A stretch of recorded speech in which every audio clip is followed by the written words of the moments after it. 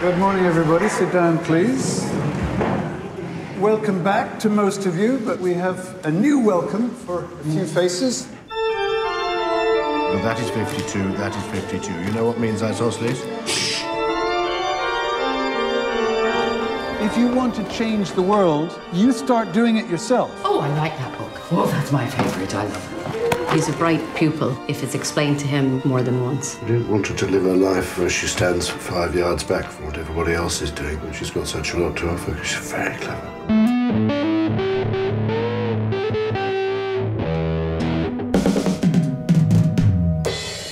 That was really good.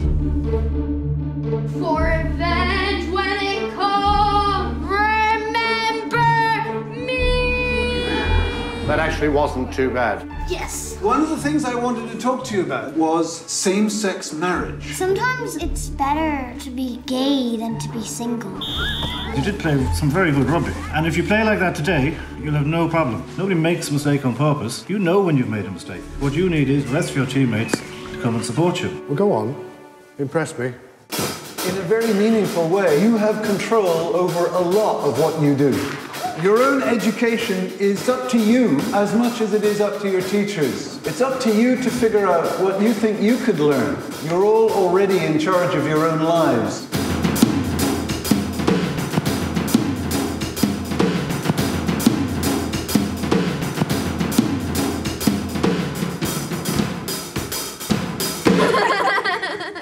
Very good.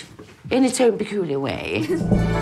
Everything is new. All the standards are different. Everything is different. There's more to her than meets the eye, isn't there? These guys were very young when they all started boarding. When they're 70, they'll be popping into bars. They were together, young. They're very close. We're proud of you. If we don't come here, what would we do all day? I don't know. Just sit around doing less and less and getting more and more decrepit.